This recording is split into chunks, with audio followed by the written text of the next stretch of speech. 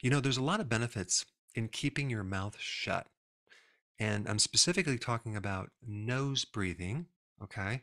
When you are sleeping and exercising, which I think you're going to find quite interesting. Now, typically, when you think about nose breathing, um, you're probably going to think, wow, I'm restricting my airflow.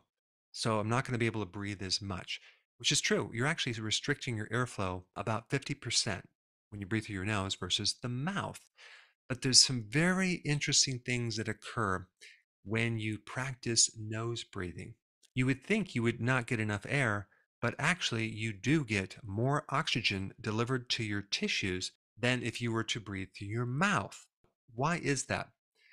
Well, there's several things. Number one, when you breathe through your nose, the nose, the sinuses act as a humidifier. So they definitely um, help you to moisten the air as it goes into your lungs. Also, that can actually protect the lungs because if you're breathing cold, dry air, that can really irritate the lungs and actually increase the risk of inflammation in your lungs. Secondly, your nose acts as a filter to um, filter out particles that can end up in your lung as well. And it also can act as an immune barrier to protect the lungs against pathogens because the pathogens can actually be effectively dealt with in the sinuses and not end up in the lungs. Has to do with what's called the Bohr effect, B O H R effect.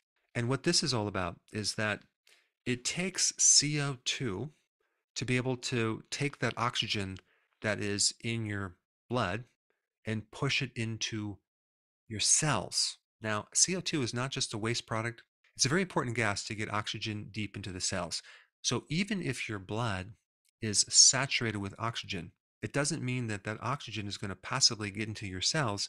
It has to be released with the help of CO2. And this is why someone in a panic attack that's getting too much CO2 because they're breathing, they're hyperventilating, they're going to get an altered ratio of too much oxygen and not enough CO2.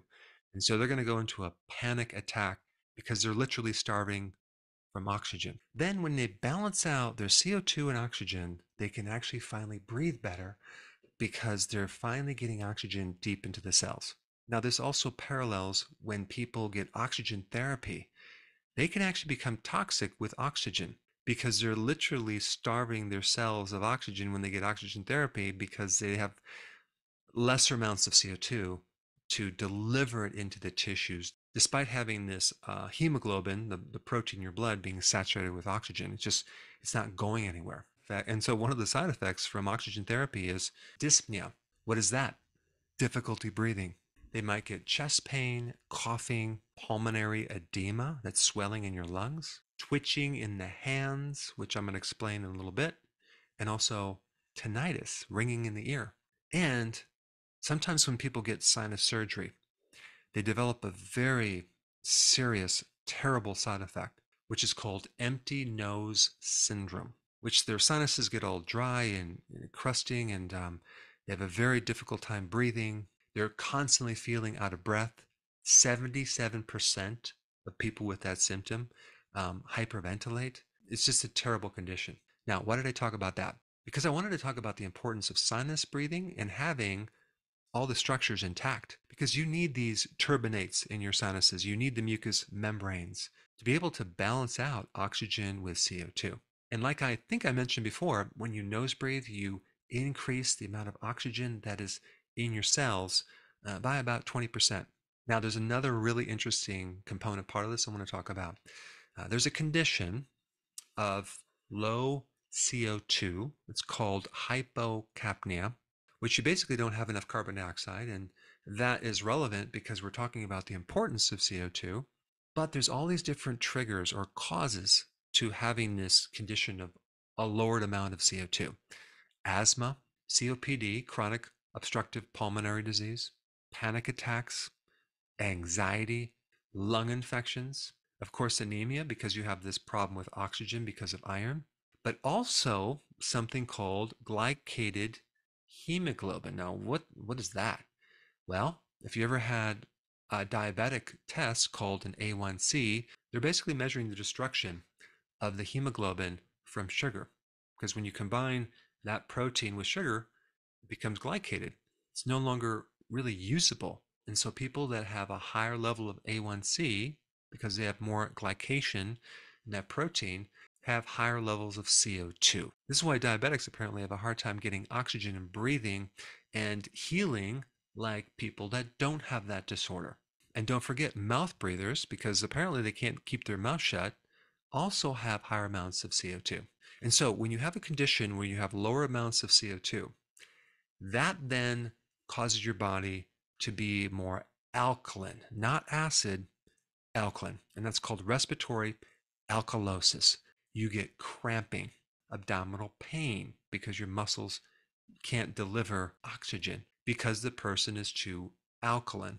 Another symptom would be laryngeal spasm. They're going to be having irritation in the in the throat.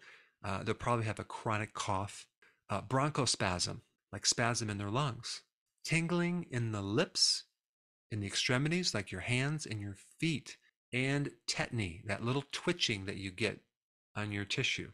That's all alkalosis. Now, anytime you get alkalosis, that can lead to a lowered amount of calcium in the blood.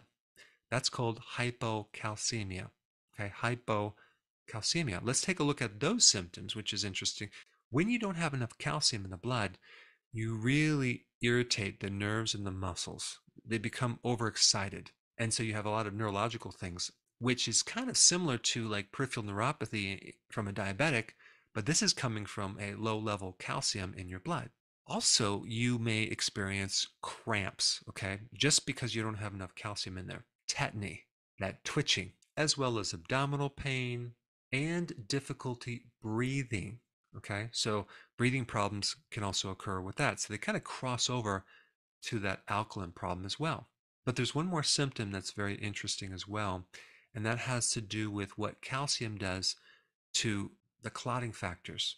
Apparently, calcium is involved in clotting. And so when you don't have enough calcium, you can get bruising and these little purple dots or specks on your lower legs that can occur. That can be hypocalcemia. And on the flip side, if you have way too much calcium, okay, that can lead to excessive amounts of clotting. And so there's even studies um, like postmenopausal women who take a lot of calcium developing strokes and even heart attacks because of the clotting effect. So it's not just vitamin K1 that's involved with clotting, calcium is also involved. And without calcium, you can't clot at all, and you'll get a little bleeding going on, and that can show up as black and blue marks in certain places in your body. Now, when you have um, hypocalcemia, not enough calcium in the blood, yes, that can come from low levels of CO2, but it can also come from other things as well when your parathyroid gland is not working, when you have a hypoparathyroid gland, uh, you can have problems with low calcium in the blood. Liver problems. It could also come because you're not consuming enough vitamin D. It could come because you're not consuming calcium in the diet. You have no dairy.